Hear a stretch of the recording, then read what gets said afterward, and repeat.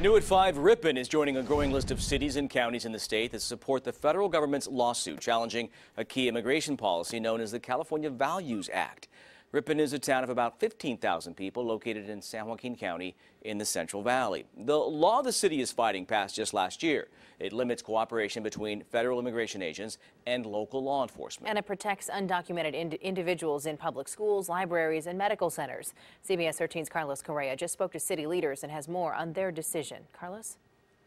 Yeah, Ripon is the first city in Northern California to pass a resolution opposing California's sanctuary state decision, a vote the mayor says is to protect all citizens. Ripon Mayor Mike Restuccia is concerned over the California Values Act, which he says forces any elected official to violate the oath of office. We consequently have illegal people in the country that are felons that are being released in our community that we cannot help. And I thought that was wrong. My job is to make sure our citizens are protected. This week, the Ripon City Council voted on a resolution opposing California's sanctuary state law.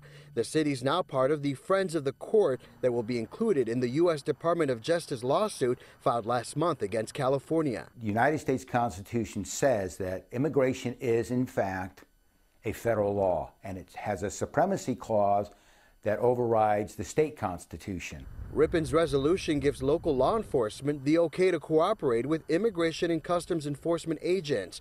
It's a vote city leaders say is supported by many in this mostly conservative community. This issue for us is you have a known criminal who is already in custody and the federal government wants to do what the law says. Council members say education is the key. City leaders say their decision was not based on immigration issues. Instead, it was a vote for public safety. There's a lot of information out there that people people think and a lot of propaganda that people say you're racist, you're you hate immigrants, and that's not what it's about. The mayor says leaders from other communities have reached out asking to use Ripon's resolution.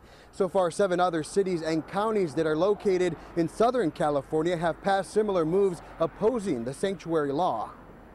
Carlos Correa in Ripon. Carlos, thank you. Not a